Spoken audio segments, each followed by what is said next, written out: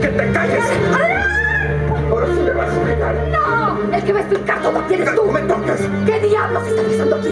¿Cómo que estoy divorciada de Álvaro? ¿Quién diablos es Regina? No puede ser Cordelia. Cordelia está muerta por dos razones. La víbora y el barranco. Me salvé de milagro, estúpido.